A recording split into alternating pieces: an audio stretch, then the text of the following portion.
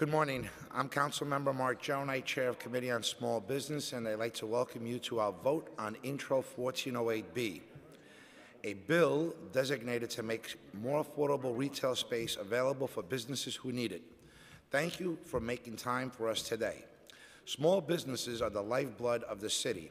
Our local businesses are major employers of city residents, add billions of dollars to the city's GDP, and are anchors in their communities, providing, providing culturally relevant goods and services and a space for neighbors to convene. Despite local mom and pop shops being an integral aspect of our city's unique and vibrant culture, small businesses are finding it more and more difficult to keep their doors open.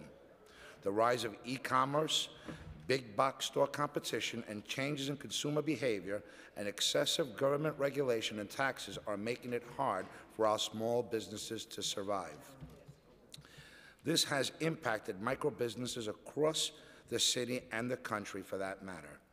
In my, in my own Bronx district alone, a hobby shop known as Hobby Heroes, after 45 years in business on East Tremont Avenue, is now shutting its doors due to the pressures they're facing from e-commerce competition.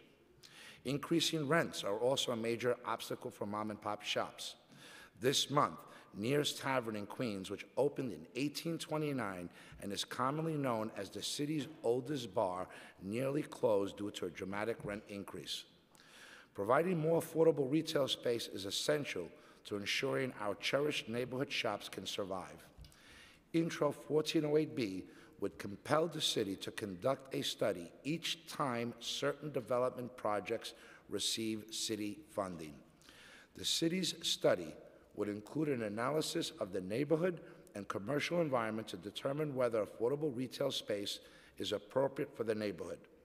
That space would be leased to micro businesses at a below market rate, and chains and businesses engaging in direct competition with neighborhood shops and restaurants would not be eligible. We look to this bill to increase below market rate retail space for our independently, locally owned businesses. We must work to protect our commercial corridors so they can maintain the vibrancy of our neighborhoods, the tax base, and character of our communities at a time when they are under attack. This piece of legislation we are voting on today will further my goal as chair of the committee to protect and empower our hardworking micro businesses to achieve the success they deserve. I want to remind everyone that this bill will only go so far. I encourage New Yorkers to give back to their neighborhoods by shopping locally and buying locally.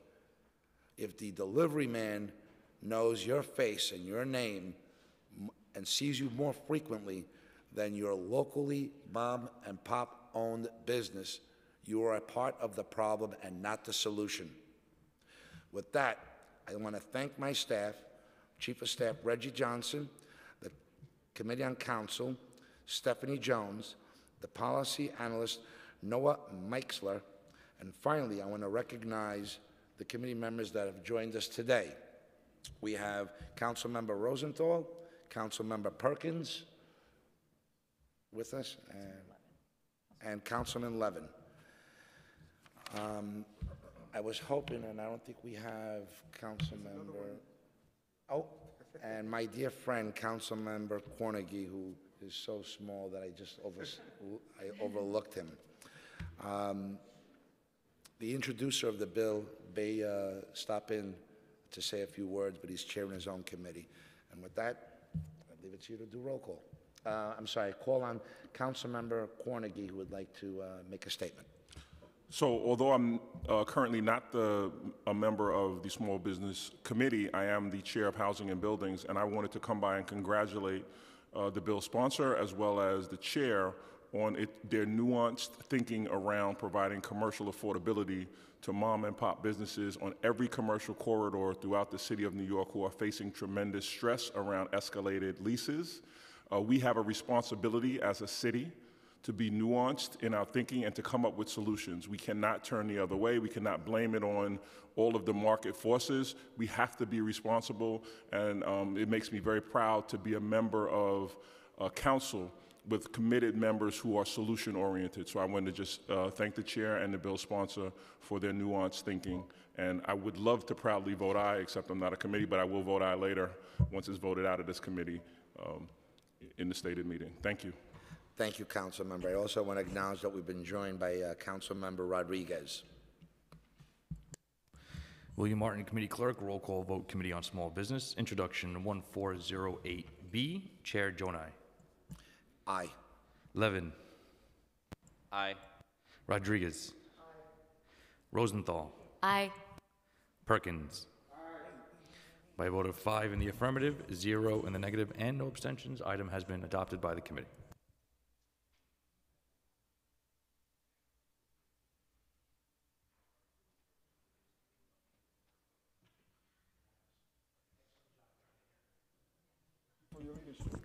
Hearing is officially closed.